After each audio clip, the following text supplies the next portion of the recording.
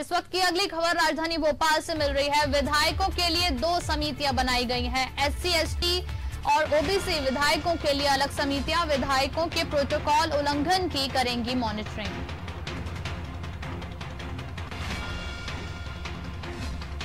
राजधानी भोपाल से आपको खबर बता रहे हैं, विधायकों के लिए दो समितियाँ बनाई गई हैं, एससी, एसटी और ओबीसी। विधायकों के लिए अलग समितियाँ विधायकों के प्रोटोकॉल उल्लंघन की मॉनिटरिंग करेंगी।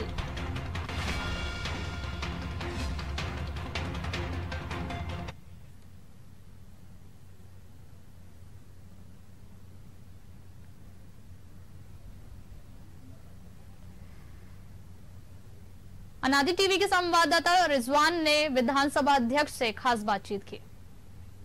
मध्य प्रदेश के विधानसभा अध्यक्ष गिरीश गौतम जी हमारे साथ मौजूद है। आइए बात करते हैं। सर, एक बड़ा निर्णय लिया गया है। पिछड़ा वर्ग पर नज़र रखने के लिए समिति बनाई गई पिछड़ा वर्ग कल्याण के लिए। पिछड़ा वर्ग कल्याण के तो पहले भी समिति थी वो। अनुसूचित जाति, जनजाति एवं पिछड़ा वर्ग कल्याण समिति मतलब मिक्सअप था। अनुसूचित जाति, जनजाति का पिछड़ा वर्ग का मिलाकर के एक समिति पंद्रह सदस्यों की। दोनों के कामों की तासीर अलग अलग है। अनुसूचित जाति अनुसूचित जनजाति में ज़्यादा फोकस है।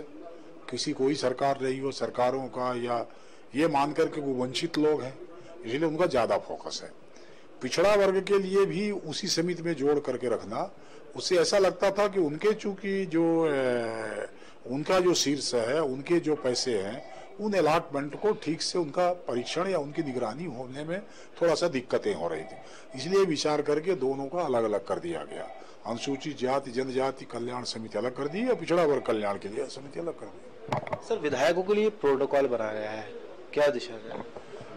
विधायकों के प्रोटोकॉल के लगातार उल्लंघन की शिकायतें आती हैं। और उसके लिए ऐसी कोई विशेष समिति नहीं थी जिस पर उसके प्रोटोकॉल के उल्लंघन की शिकायत की जाँच हो सके। विशेषाधिकार कुल मिलाकर के एक समिति थी। विशेषाधिकार में प्रोटोकॉल को जोड़ करके वो बनता नहीं है।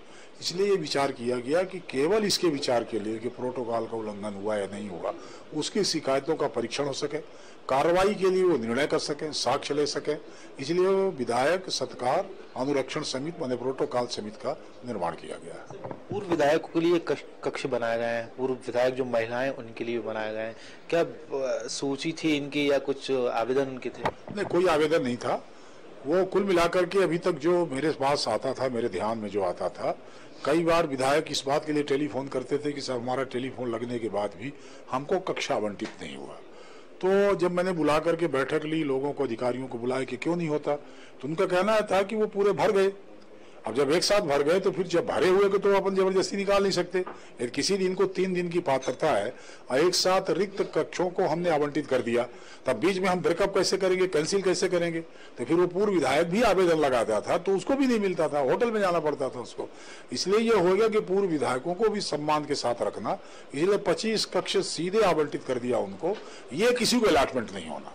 बाकी जो बचे हुए, उसमें काम चलाना, ये 25 कक्ष पूर्व विधायक, जिसमें से 20 पुरुष के लिए, पाँच महिलाओं के लिए, कई बार स्थिति आएगी, हमारे खाली हैं तो खाली है तो भी खाली रहे हमें, पर वो देना पूर्व विधायक को, पूर्व विधायक के अलावा किसी को नहीं देना, ये थे विधानसभा अध्यक्ष गिरीश गौतम, जिनका कहना है 25 कक्ष जो है, पूर्व विधायक के लिए रखे गए हैं, जिसमें पाँच महिला और 20 जो है, पूर्व विधायक पुरुष के लिए रखे गए हैं। कैमरामैन मनीष के साथ रिजवान खान, अनादी टीवी, भोपाल।